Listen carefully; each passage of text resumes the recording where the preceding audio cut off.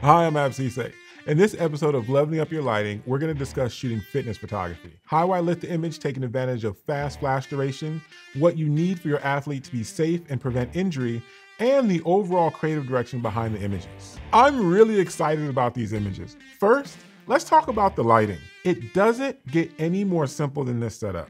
I kept it so that you could do this with a speed light if you wish. I'm using one bare bulb and another with a large umbrella with a sock. That's it. I'm using a bare bulb flash because when shooting movement, it's great when your subjects don't have to be dialed into a very tight mark. When the light is even throughout your set, it gives them room to move and not be overly worried about their lighting. The farther I pull the light back, the more even across my set it's going to become and really start to give me the effect of sunlight. Well, you may be thinking that their bare bulb is my key light and a large umbrella is my fill. Well, this is only kind of right. They both play many roles. Here the bare bulb is my key light, and it is also the key light here. But now it's my rim light.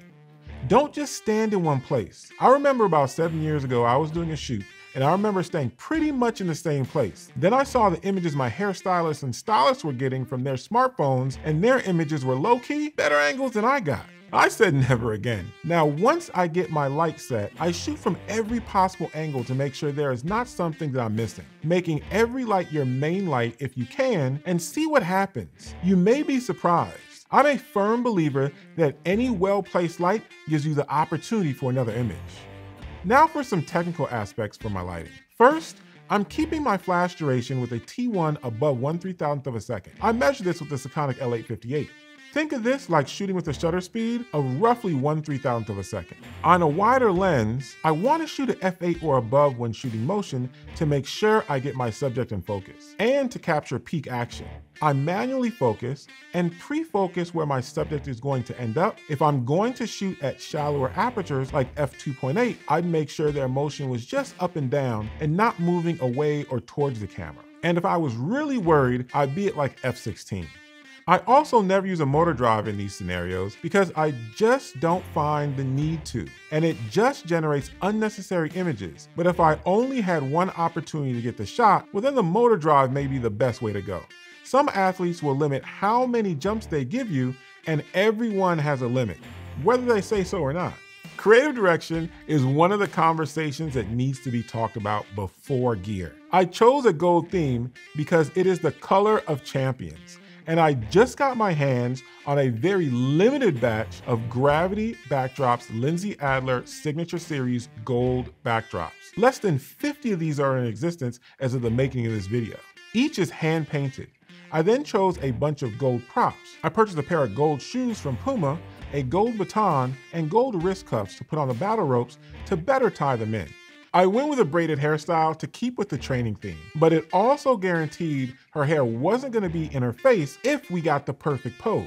I'll also show the athletes mood boards and find what poses they are comfortable with, and then really work on dialing them in until both of us are happy with the final result. Make sure you give time for your talent to look at the shots as well to help them make micro adjustments as needed. When you are starting out, and still working on the photography technique, remember that creative direction and concept are always king. Now, the most important part of this video is safety. First, make sure you give ample time for the athlete to warm up. It will help prevent injury and get you better movement. Next, Make sure the wardrobe does not restrict movement and the shoes are a perfect fit. Buy multiple sizes and return what isn't a perfect fit. And ask them to even bring their own as backup. And give time to rest between poses when needed. Now for the set. I want to make sure the canvas backdrop I'm using on the floor doesn't slip. So I'm using a non-slip rug mat under the backdrop. I like to get one equal or larger in size to be extra safe. This is much safer than using tape especially since we will be doing a lot of poses with our athlete pushing off with a lot of force. It makes sure the canvas backdrop on the floor doesn't budge. I also propped a V-flat behind our model for the shot. I wanted her leaning against the backdrop to make this pose feel a little bit more easy and more natural, and to make sure that there were no wrinkles in the backdrop. I do get asked a lot about why not use a motor drive. And I think with time, you simply get the timing of your athlete. I prefer not to do a countdown, but to simply get a rhythm for how they move and anticipate the action versus thinking about a countdown. But it sometimes people will ask you to count down, and I simply listen and will do a countdown, but hope that throughout the shoot, we're able to build a rhythm. Remember, it's not all about f-stops and shutter speeds, but the idea and direction you put in behind the shot. I hear so many photographers say they just want to see what happens, and they have no plan behind their shoots. But when working with clients, it's better to have a plan and pivot versus trying everything on the fly. If you'd like to see more videos taking you behind the scenes with the creative process, as well as the details of execution, such as safety and direction, I'd love to do dance photography next. So comment below, dance no matter what. Please remember to like, comment, subscribe, and ring that bell to see content just like this. My name is Ab Sesay, and as you know, there are levels to